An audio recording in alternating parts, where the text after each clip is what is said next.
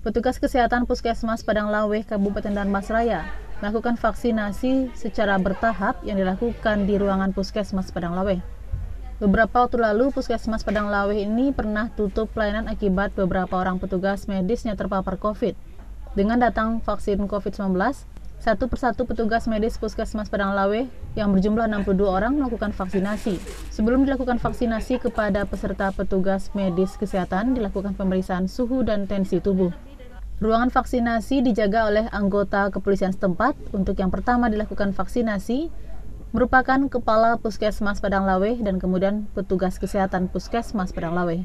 Untuk tujuan utama mungkin sama Pak dengan puskesmas yang lain bahwa mudah-mudahan dengan diberikan atau divaksinnya seluruh petugas tentu lebih uh, memaksimalkan lagi tugas petugas sebagai garda terdepan dalam uh, uh, meredamnya pandemi COVID-19 ini Pak. Melalui vaksinasi atau penyuntikan COVID-19 kepada petugas medis kesehatan mampu mengurangi pasien COVID dan keadaan kembali normal untuk beraktivitas kembali.